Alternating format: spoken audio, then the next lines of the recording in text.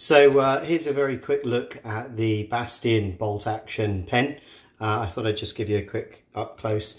Uh, there's actually four different metal options you can go for um, and I actually went for the copper uh, which I think you'll agree is pretty spectacular in how it looks.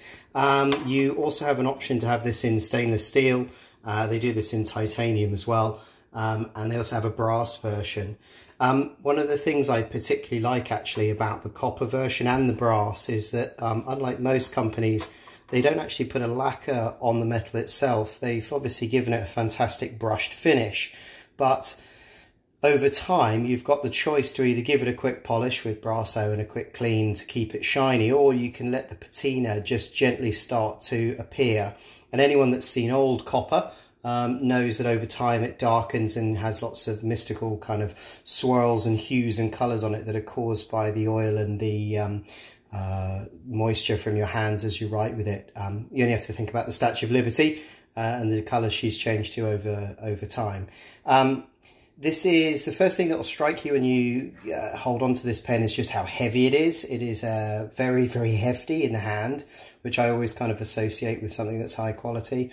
You can see at this end, this is the easy to use bolt action. So you simply do that to deploy the, the nib itself.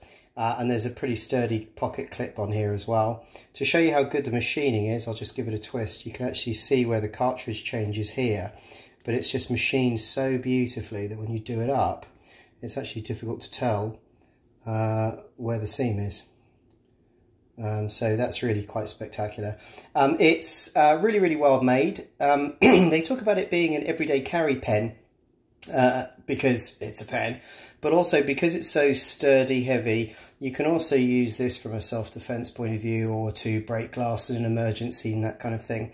Um, final thing to note is that uh, the ink uh, refills are less than five bucks as well. So you're not going to get stung once you've bought this.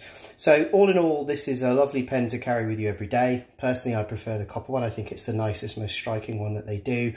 Um, but you've got four different metal options. It's a great little everyday carry pen with a couple of extra functions if you want it, in that it's sturdy so you can break glass with it or use it as a self-defense thing if you wanted to, if that's you're that kind of person. Um, I also think this is kind of nice enough that it's nice to be given as a kind of gift as well. Um, so yeah, that gives you uh, a pretty close look. Uh, I put a link in the description on the video below. Uh, and if you can like and subscribe my videos, it's super helpful when I review stuff as well. I'll put a link in the description to a full written review as well. And I'll put a link to the lowest online price. Uh, but there you go, quick look at the Bastion Bolt Action Pen.